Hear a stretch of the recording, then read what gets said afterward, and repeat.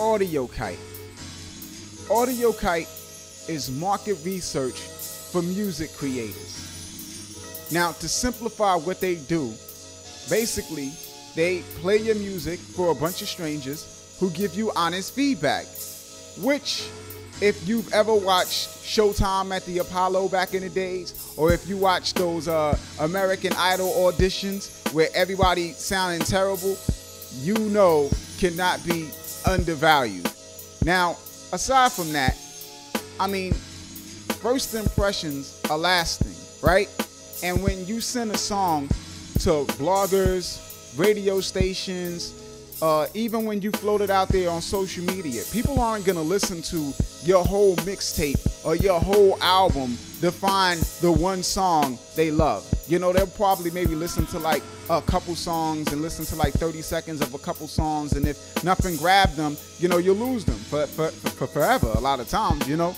So it's like finding the one song that you can float out there to hook everybody is very important, you know. And in addition to that, you know, also trying to find the group of people who are gonna be most responsive to your music, you know, who like your music, so you know who to market your music to. And that's where something like Audiokite comes in and tries to be a solution.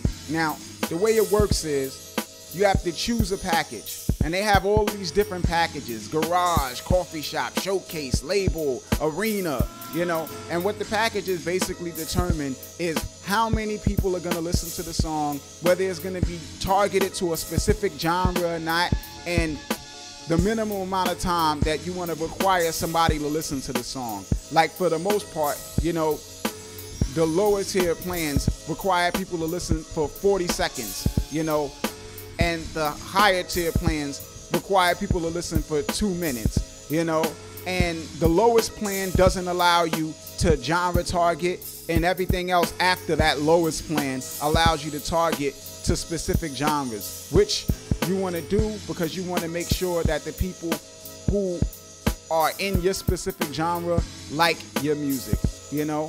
Now, they put some of the reports public. You know, some of the reports that people have gotten on here, you know, are public. So we're going to check out one right now from Bitter Sweetheart called The Sea, The Sea.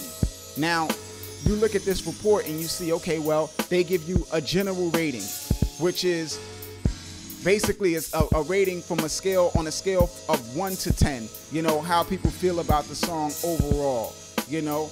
And they give you a rating of commercial viability whether they feel like the song can be make it the radio, you know, or something like that. And people give their responses, like they tell you what they have to say about the song. Like this song in particular, a lot of people were complaining about the vocals and how the music was drowning out the vocals and they couldn't hear the girls' vocals and all this other stuff, you know? Like that was a big issue. So it's like this guy can take that information and know next time he records something, you know, to watch the levels for the instrumental, you know? And now with the commercial, to get back to the commercial viability thing, you see they ask they ask the listeners questions like, how likely would you be to purchase or stream this song after hearing it? And people, you know, they they, they tell you how people voted. You know, 45 people voted not likely. Uh, uh, 38 people voted somewhat likely. You know, and 17 people voted very likely. Now the thing with somewhat likely is basically somewhat likely means not likely. You know, because with certain things, man, you know, if people aren't excited about it and enthused and enthusiastic about it, they're not gonna do it. It's kind of like like begging a girl for her phone number. You know what I'm saying? You get a number, she's not she might give you a number to shut you up, but she's not going to answer when you call, you know? And if she does answer and she finds out it's you, it's going to be like, "Yeah, one word answers. What you doing?" chilling. you know, give you you be like, hey, can we can we go out? Like I'm washing my hair, something like that. You know. So it's like you know you don't really want somewhat. You know you want very likely. That's what you want. You know, so it's like, how likely would you be to seek out more of this artist's songs after hearing this one? You know, you don't want to hear uh, somewhat likely with that. You know, they ask them whether they'll they'll recommend it to a friend. You know, if somebody says somewhat likely, that means no. You know, how likely would you be to attend a live show? Somewhat likely. That means no. You know, sync licensing. You know, they they they show you what movie genres they feel like they could hear your song being played in, you know, or licensed to. You know, like this guy, for the most part, people saw his music being in a drama or a romance film, you know. But at the end of the day, most people couldn't see his music being placed. You know, 50 people said somewhat likely, which again, like I said, means no. I can't really see it being placed. Like, eh, that's what that means. Eh. You know, they have song elements where people rate, you know, certain uh, different aspects of the song, like the vocal performance, the instrumental performance, the lyrics, the beat, the song structure, the sound quality, you know, the song and band name, even.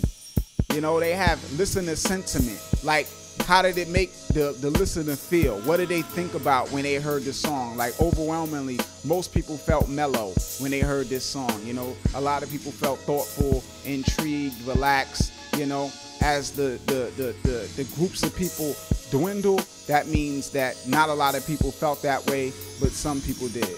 You know, and then they give you demographics, like they tell you you know, the age demographic of people that responded to the song and how they responded. Like you see, you know, men, on average, men rated the song higher than women did, you know, and it tells him who the people who re- responded or the age demographic of the people who responded best. You know, 55 to 64 year olds rated the song an 8, you know, on average.